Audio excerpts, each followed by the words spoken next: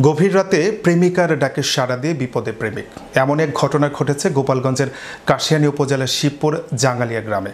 বিস্তৃত থাকছে ডেস্ক রিপোর্টে।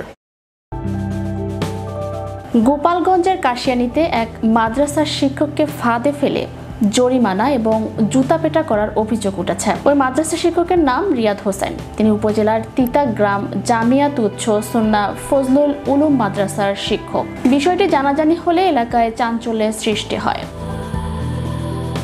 কাশিয়ানী উপজেলার পারুলিয়া ইউনিয়নের শিবপুর জাঙ্গালিয়া গ্রামের ওই নারী এক সন্তানের জননী। তাকে পার্শ্ববর্তী তিতাগ্রাম জামিয়াতুচ্ছ সন্না ফজলুল উলুম মাদ্রাসার শিক্ষক রিয়াদ হোসেন মোবাইল ফোনে প্রেমের প্রস্তাব দেন।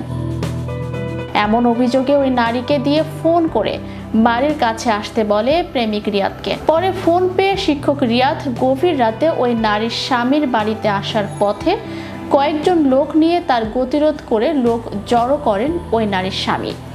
সেখানেই সাজানো বিচার বসানো হয়। সাজানো বিচারে তাদের প্রতিবেশী সহ কয়েকজন অংশ নেন।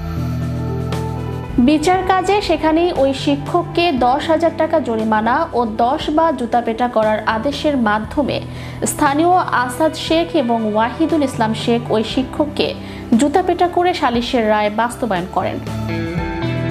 এ সময় উপস্থিত রাখা হয় শিবপুর মসজিদের ইমাম বজরুল আলম এবং তিতাগ্রাম জামিয়াত উচ্চ সুন্না ফজলুল উলুম মাদ্রাসার ভারপ্রাপ্ত মোহাতামিম মোহাম্মদ আবদুল্লাহকে। অভিযুক্ত মাদ্রাসার শিক্ষক রিয়াদ মোবাইল ফোনে বলেন, আমি ষড়যন্ত্রের শিকার। ওই নারীর ননদ আমাদের মাদ্রাসায় লেখাপড়া করেন।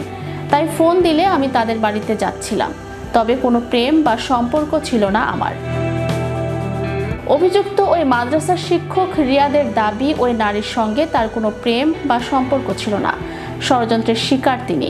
শিবপুর মসজিদের ইমাম বদরুল আলম এবং তিতাগ্রাম জামিয়াত উচ্চ সুন্না ফজলুল উলুম মাদ্রাসার ভারপ্রাপ্ত মোহাতামিম মোহাম্মদ আবদুল্লাহ এ ঘটনার সত্যতা নিশ্চিত করেন। সালিশে উপস্থিত ইমাম বদরুল আলম ও ভারপ্রাপ্ত মোহাতামিম আবদুল্লাহ জানান, আমাদের ওই নারীর স্বামী ও তার লোকজন ফোন করে ডেকে আনেন। আমরা কোনো প্রকার ভূমিকা রাখিনি। আমাদের কথাও কেউ শুনেননি। এ ব্যাপারে বক্তব্যের জন্য কাশিয়ানি থানার অফিসার ইনচার্জ জিল্লুর রহমানের সরকারি নম্বরে কয়েকবার ফোন করলেও তিনি রিসিভ করেননি। পরে তার ফোনটি বন্ধ পাওয়া যায়। Channel Europe news desk.